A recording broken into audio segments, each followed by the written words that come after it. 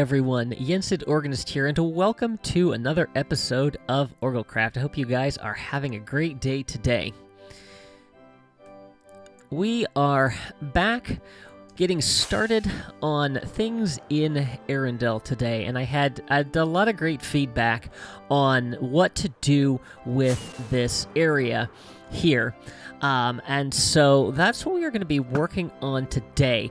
When I initially um, you know was thinking about doing this i had this thought of like oh i have to i have to start with a castle and we have to go there first before we do anything else and the castle is is such a big part of a part of this that I really want to make sure I get things right. And to be able to get things right, we need to um, we, we need to make sure that our scale is right and we have a good idea of where we're going to go from. So we're going to start with something in the town that is actually manageable, and that is what is known as Market Square, and that is the area that um, basically is is right off of the harbor and connects to the bridge that will lead out into the castle. And i feel like this is something that it's going to be really easy to to get a good idea of the scale for things as we as we build. You know um, when we were laying out the outlines here you know we were looking at you know this this gray area here and then um, the white area as well, or possibly something in between. So I think that once we actually like have have a, a base to work with and you know start framing out some houses and you know like some of the the stalls and shops that are along there i think that's going to help give us a really good idea of how big things need to be and then from there we can we can expand. We can we can build out the roads for the town. We can build out the the docks for the harbor. And we can get the build, bridge for the castle built. And we can really start from there to get our sense of scale. So in order to do this, this ground over here needs to be um, a little bit closer to the water. So we have a massive area to take down. So what I am going to do is I'm going to set up a beacon and we are going to level this area for sure, and then we're probably going to take some of this out as well, because I suspect that a lot of this is going to need to be our town. So yeah, so we have we have a lot of work to do. I'm not going to do all of it right now, but we'll at least get started, and this is going to be in form of a time lapse. So hope you enjoy.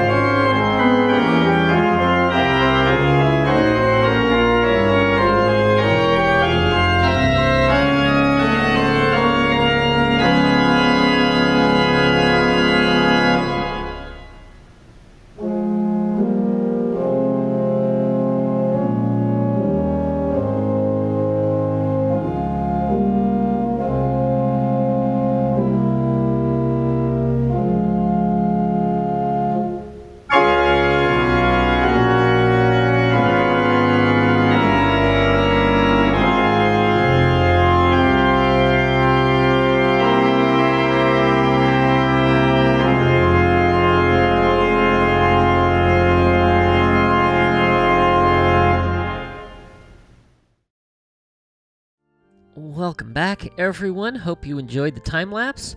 So, it's been probably more than a week since I have actually played in this world. I had a um, week of vacation with my daughter and just decided to relax and not worry about anything.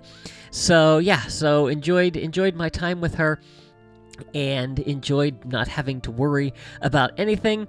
And now we are back and we are ready to get going. So, as you can see, we have cleared a ton of area here, and we still have work to do um, under under the water line there. But that's that's a project for another day. So, what we need to do now is we need to start figuring out the dimensions of this market square and what we want to do here. So I've brought a little bit of blocks here so that we can start figuring things out.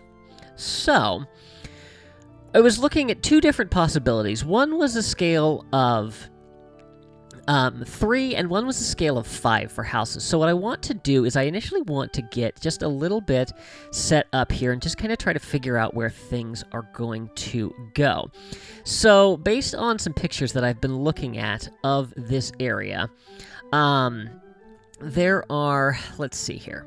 I think there are three houses here. So let's just do one and then two and then three.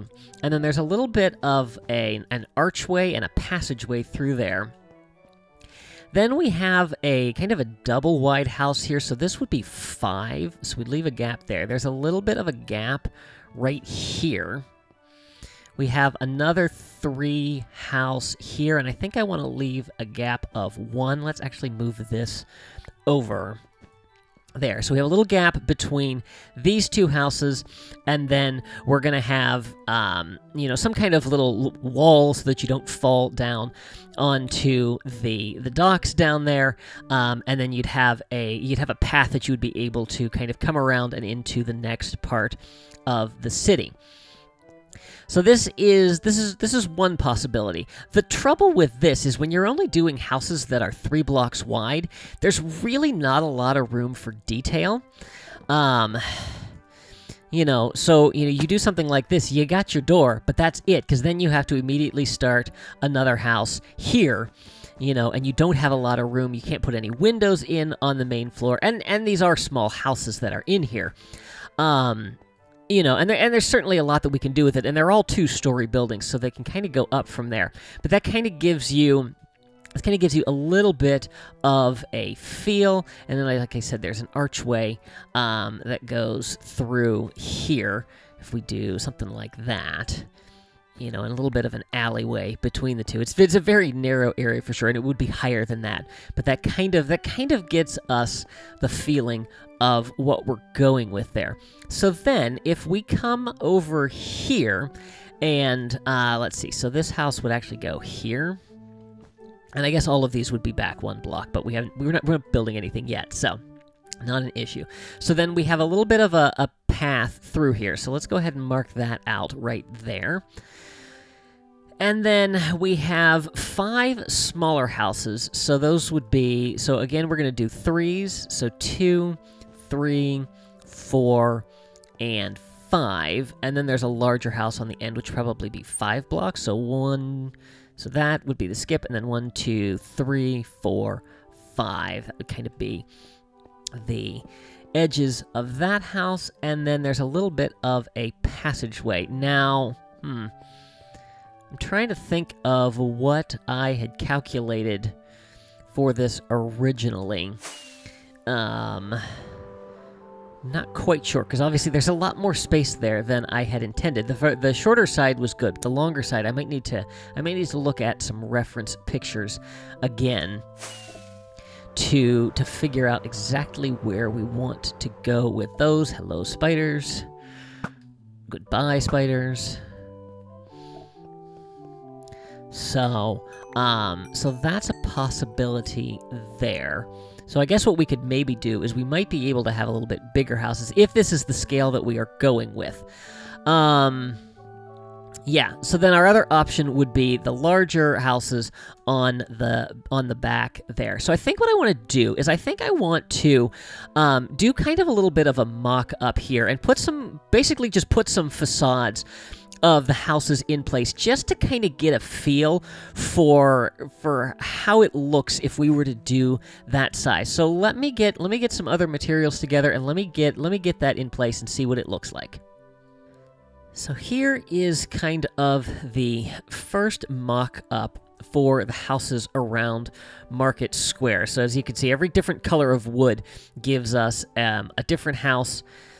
Um, and this is this is a rough idea of what the size would be. Obviously, the roofs are not in. That's what would be represented by these little um, one wide columns coming out from the top of there. Roofs are going to be difficult at this scale for sure because you know if we you know when we when we kind of look at the the design of them they have these really steep sloping roofs and there's no way that we're going to be able to do that so we would have to get creative if this is the scale that we are working on but this is kind of what we have so we've got these five houses over here there's a little bit of a gap here. This is where our little walkway would be. Um, I actually decided to go with a, a four wide arch here. It's going to be a little bit harder to do because it's easier to do in odd numbers, but I think it would be okay.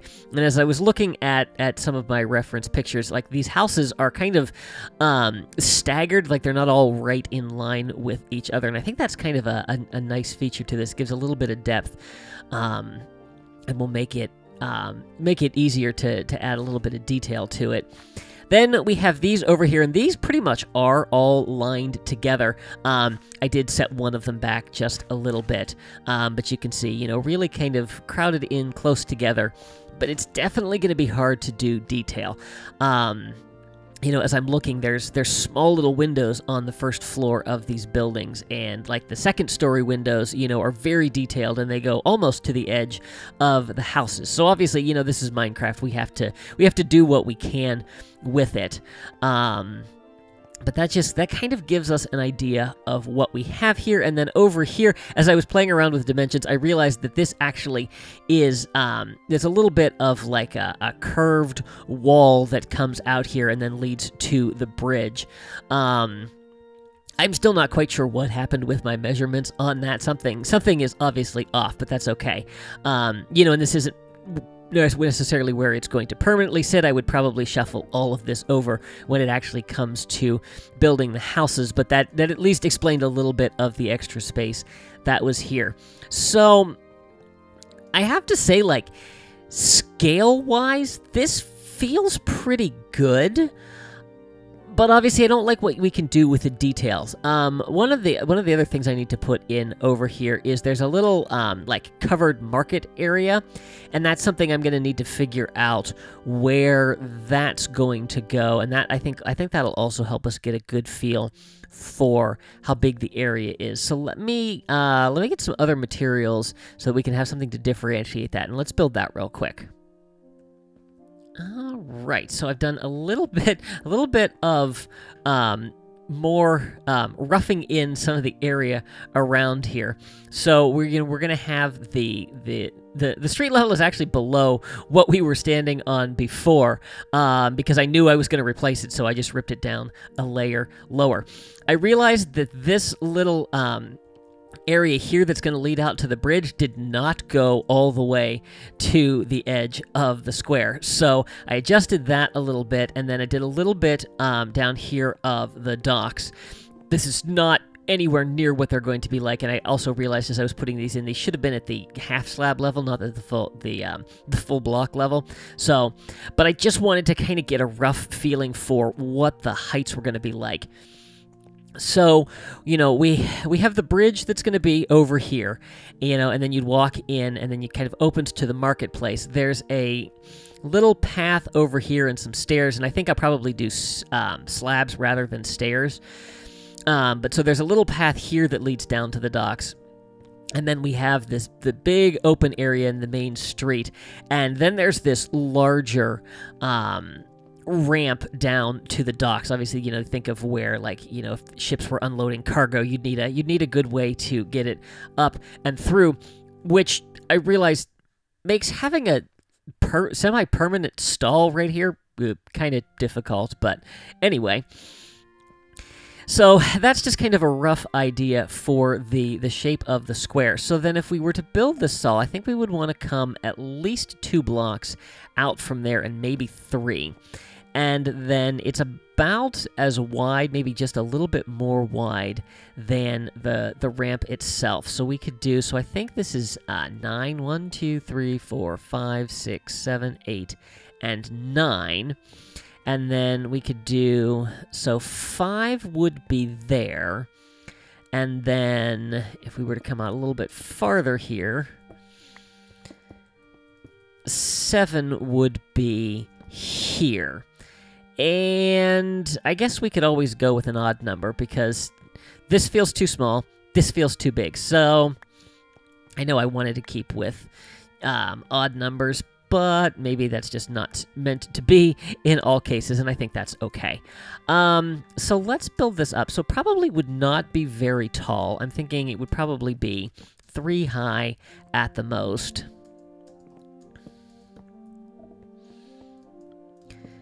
And then, let's see, do I have any slabs that we could just kind of fill this in really quickly and just kind of get a feel? It does have a, it does have a, um, I don't I don't know what to call the roof. It has a roof that slopes up toward the middle. So what, whatever the whatever the term for that is, I, I don't know what that is.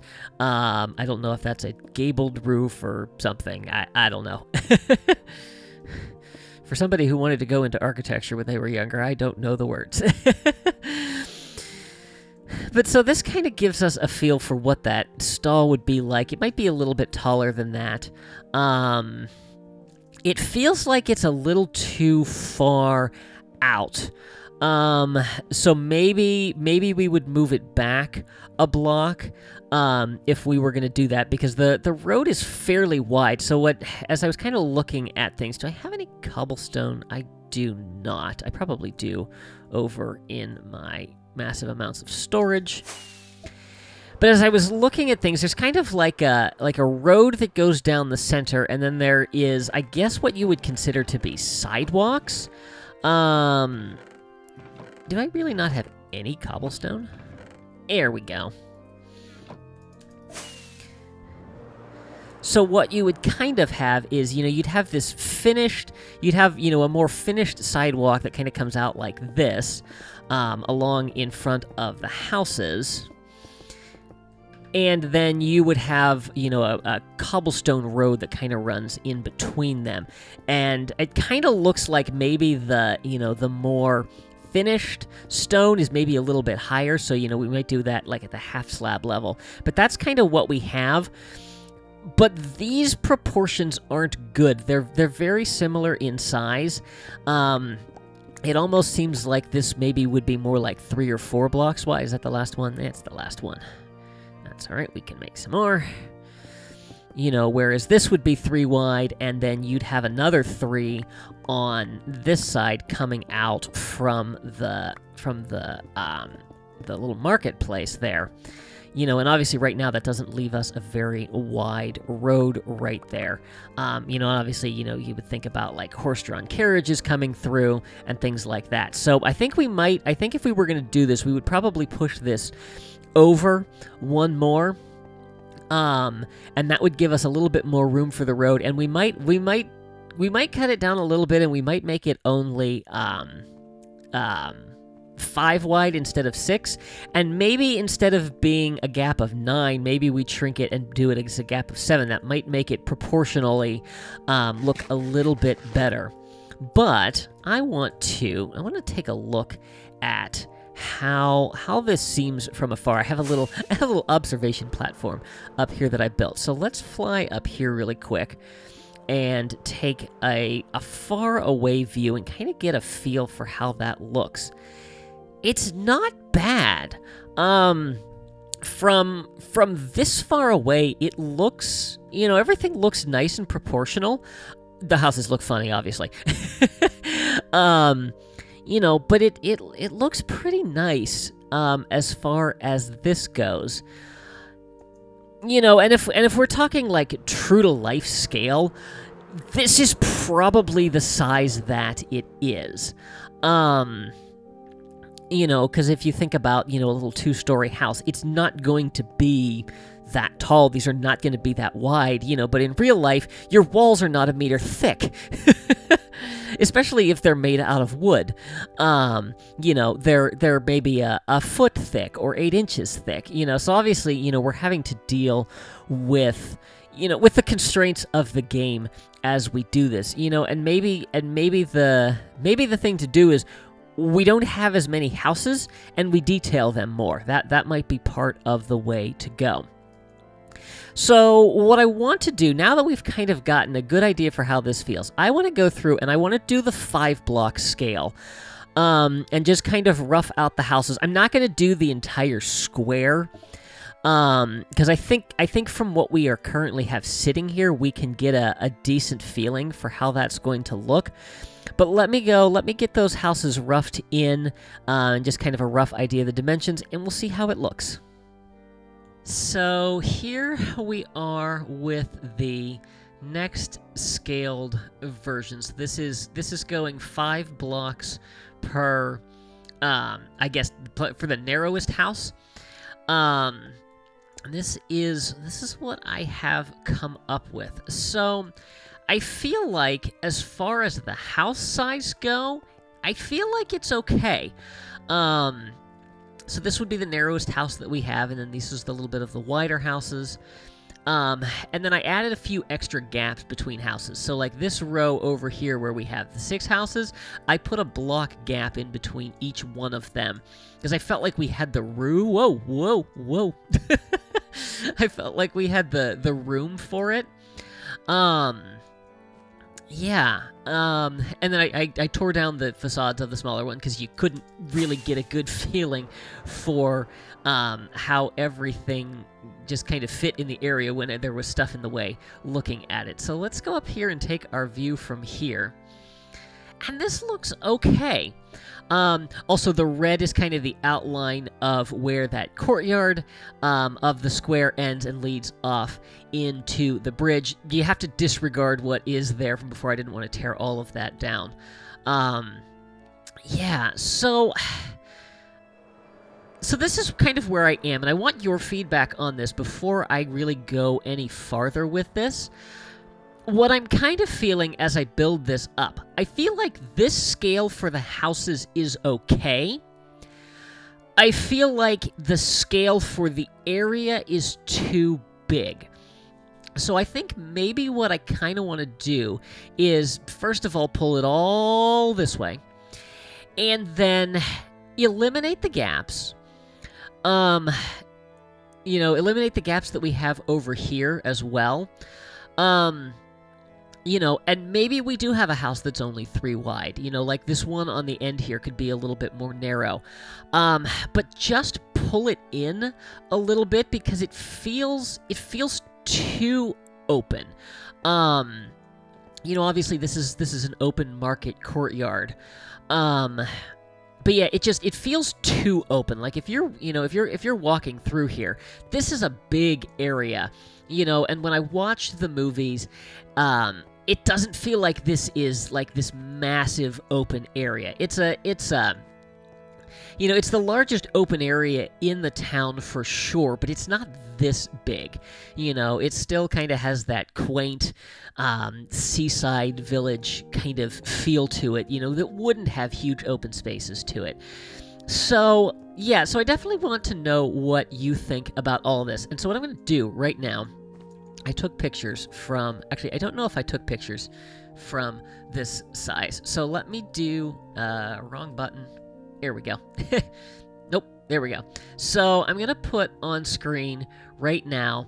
Um, so this is the, the first thing that you're looking at is the the the smaller one that we did, the smaller scale, and then this, you know, back here is the larger scale. So let me know what you think. Like I said, I kind of have I kind of feel like I like this scale of house that we have right now with the size with the the space that we had in the original. So like I said, I think if we pull this together a little bit more, pull it over this way, Um, I, I think it's not going to feel nearly as big, but definitely let me know your thoughts on it.